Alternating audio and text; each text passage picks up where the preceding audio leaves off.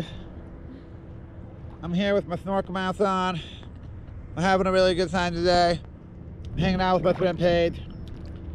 We're gonna uh, drink and hang out in the water. It's lots of fun. Ew.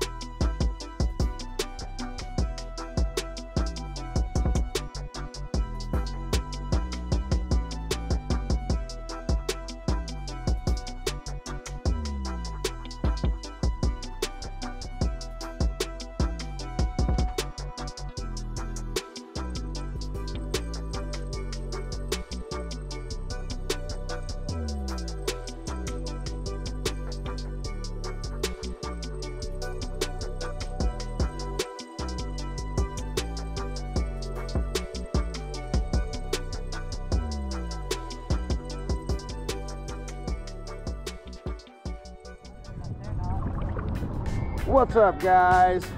How you doing on this beautiful afternoon on Caye Caulker? It's a nice hot day and we are just chilling out in the back by Iguana Reef, having a couple of beers, checking out some fish, maybe throw a fly line at some of these bonefish swimming around a little bit. Earlier we were seeing this big school of mullet go racing around and something was chasing it. And uh, I think that was that big barracuda that just swam off. Thank you very much. Belikin is the beer of Belize. Cheers. Cheers, guys. I thinking it's time to see this thing. Check out what I just found, you guys. This is a giant hermit crab. Look at him. Oh my god. And that's what we were just talking about. Wait, wait, wait, wait. Took over this conch shell. Can I hold it? Yeah. Um, he came out. Check this bad boy out, you guys. We found a giant hermit crab under the dock right here. He's a little bit skittish because now we're partying with him and he wants to come out. to. He's not down to party. come on out, bro. And then he pops out. Look at this badass little hermit crab living in this conch shell. He's actually pretty big. Don't be such a scaredy cat, bro. Here he comes. What? So wild. Look at this giant crab that lives inside of here. What? He's big. He's big.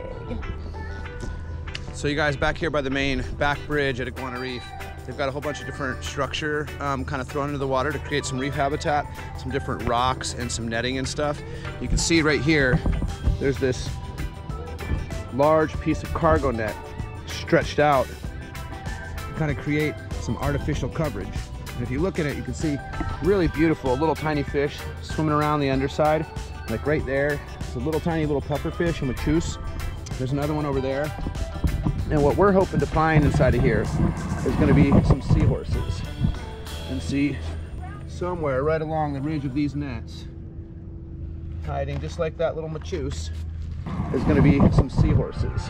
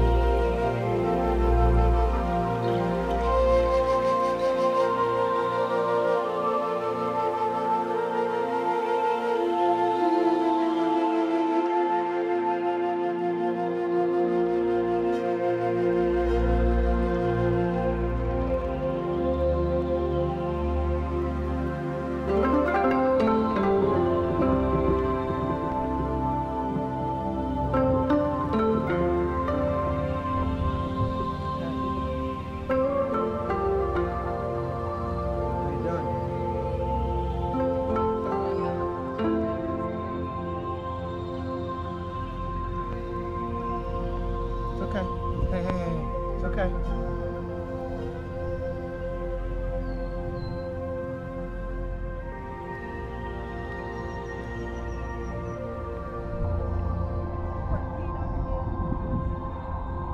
what?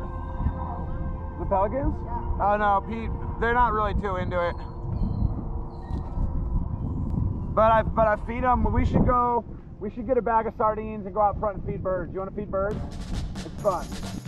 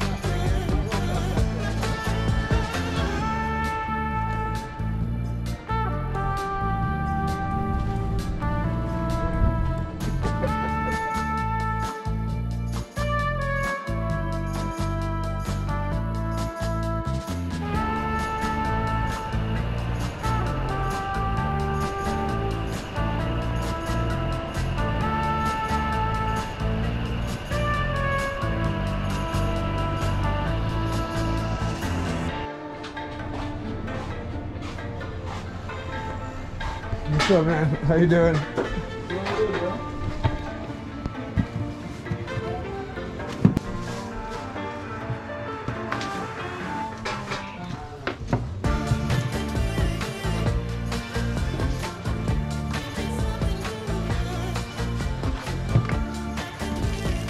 What are these? Those are It's like a, it's like a wine, huh? Fermented, fermented little plum things. Cool. I, I made some of those way back in the day. Actually, I kind of forgot about them though. And then these are oranges. All right, I'll take one of these too. That'll that'll do me. And then you see these onions I have sitting over in here.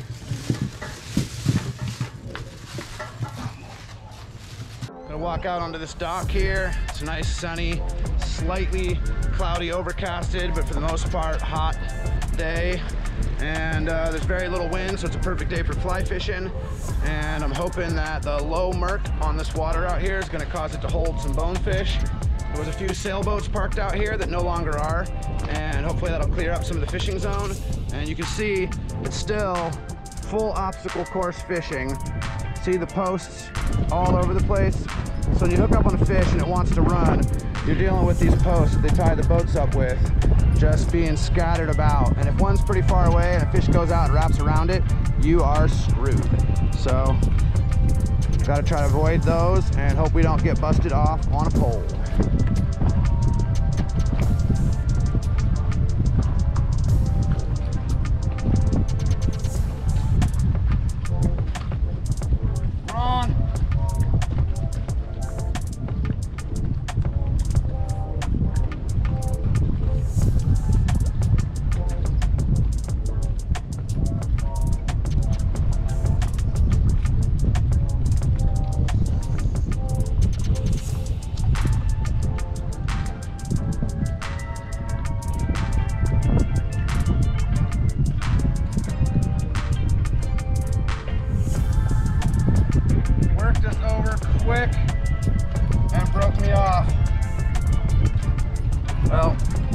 That fish just worked me over real quick and then broke me off. Went right underneath the dock around that post. I don't know how much of that you guys could see, but it happened. So aside from all these posts right here, this is an excellent, excellent place to find bonefish. They're usually stacked up on these flats. And um, we're gonna see if we can't get into a few.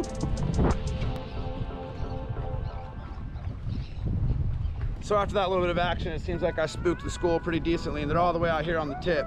So we're gonna come out here and see if we can't get into them out here.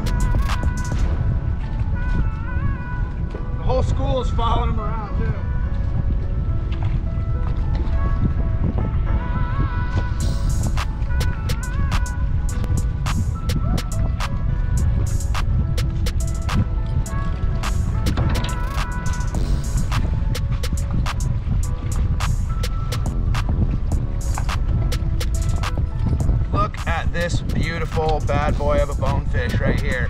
Stoked to stick this little guy on the fly rod. He's uh, really wanting to be back in the water, it seems like.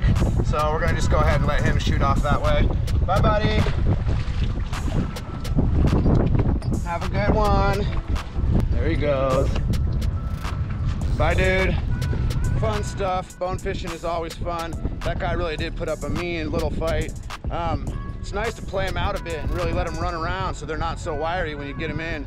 But out here with all these poles and posts in the dock, and it's kind of hard to really control where they're gonna go. I'd like to try to get them, get them held as quick as possible and not possibly lose another fly and leave a hook in a fish's mouth. So try to usually land them pretty quick and get them back in the water pretty quick. Um, A lot of fun. Coming down and just throwing a little fly, and catching a couple bones. Always a blast. Might have to do some more of it. Another good bonefish on. This one's racing.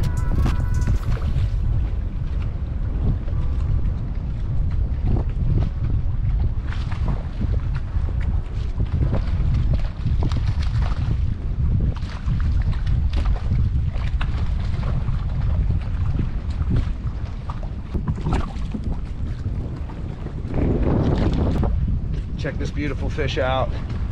So cool.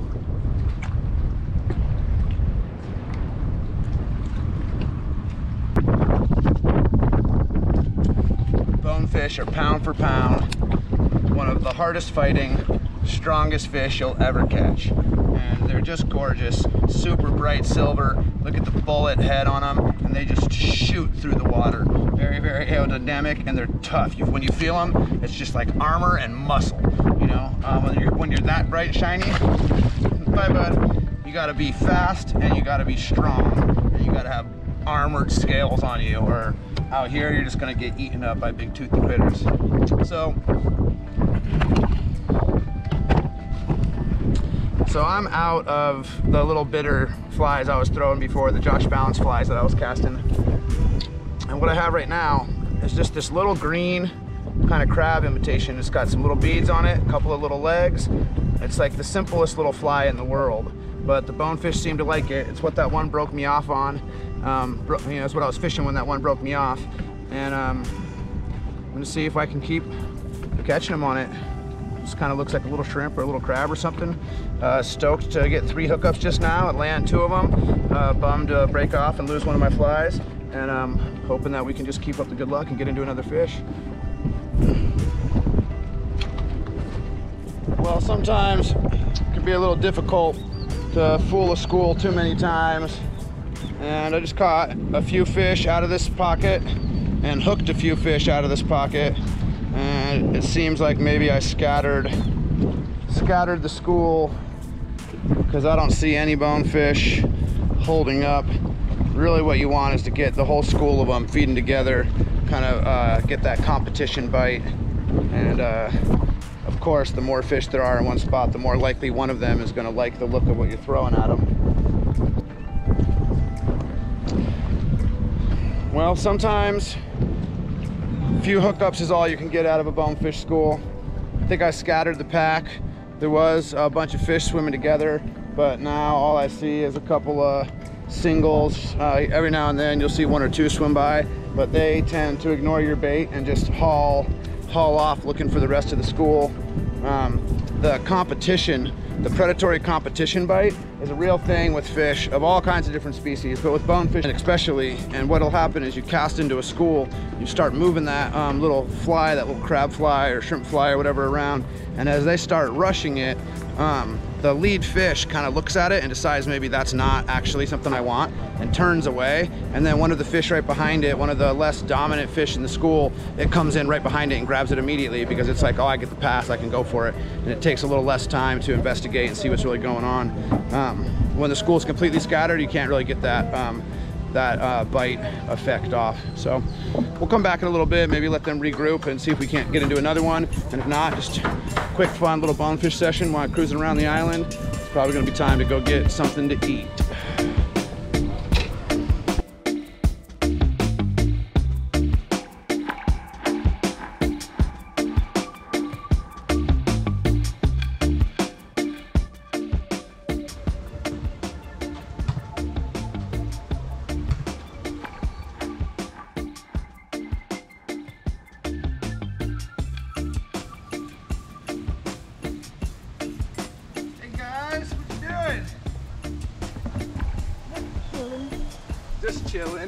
Hey guys, it's a beautiful afternoon here on Caye Caulker Island in Belize. And I made two new friends today. This is Tyler and Anthony, right? Yeah. Yeah, yeah. Tyler and Anthony. I'm glad I got you guys' names right. You know, we just met, but I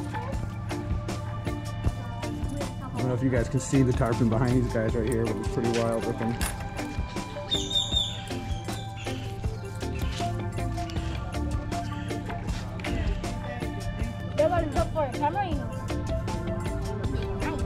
How wild is that, you guys? Look at all these tarpon.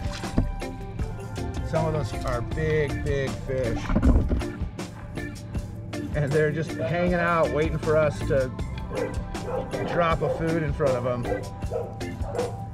They all live right here in this little goon behind here and basically never leave. At night, some of them you see some in the split at night, like catching that big boy right there in the split at night would be unreal. Tarpon all live right behind, behind the sardine shack here. So what we're gonna do is we're gonna come down here and we're gonna set this cam pretty close up. Here, one sec. Yeah, right like that. See, you guys can see that fish right there, right? So here's one that Tyler's about to throw in. See him going for it? Boom. Here we go. We're gonna get in here. Whoa! He knocked it out of my hand all the way up into the air. See this, guys? They are ready. Right here, bud. Totally grabbed onto my hand for a second. Amazing. Nothing. Go for the small one. Go for the smallest ones you can find. All right, one more time, guys. Watch this. They got any smaller. Whoa! Do you want one too, Anthony? Why?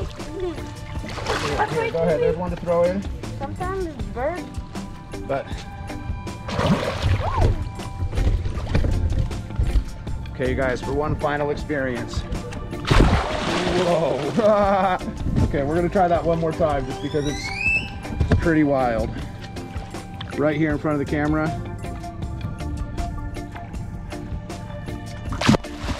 Jesus! They're so ferocious. Okay, now we need to save the rest of you. Whoa! That was him just jumping at the camera.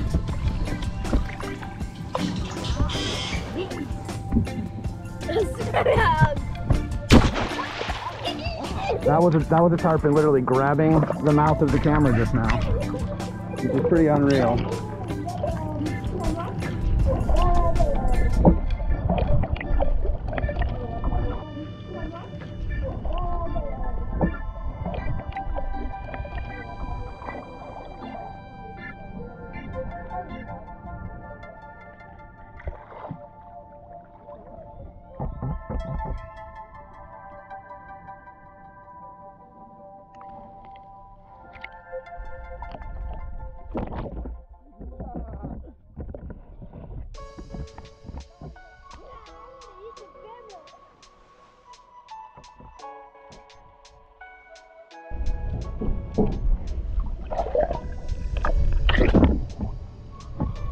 Okay, guys, how insane is that? That's just so wild. Uh, what a monster school of tarpon. Some of these fish in here are ginormous. The, the, that biggest fish is probably 80 pounds, Seven, 70. I think. I would go, I could go with 70. That fish right there, that that fish is a monster. Look at the size of that tarpon right there. Look at the giant jaws on him. That fish is that fish is a big, big fish right there. They look like the goat. Is ginormous. That fish is ginormous. Look at the feet swimming towards the camera right now. What a monster. We're gonna get out of here. Try to go catch some fish. Make sure if you're ever out here on Caye Caulker Island to ask where the bait stop with the tarpon is because someone will send you back here. You can buy a little bag for pretty cheap. Feed some tarpon. What is it? Tarpon View? Yeah, yeah, Tarpon View. Make sure to come check out Tarpon View, feed the tarpon, and uh, check out the back of the island because this is pretty cool back here. And those tarpon are unreal. Unreal.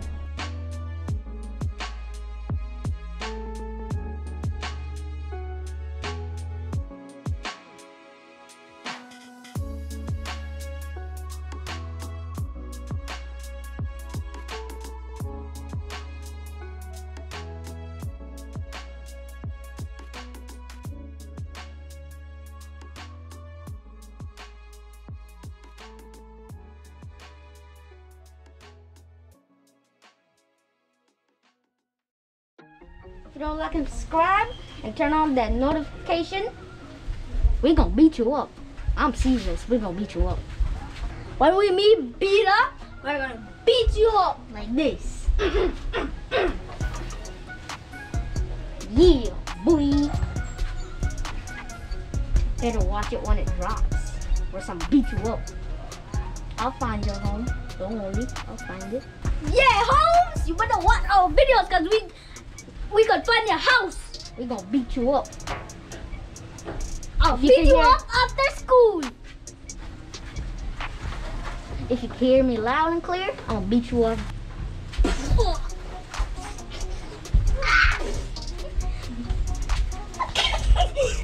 no, don't watch that. Don't watch that.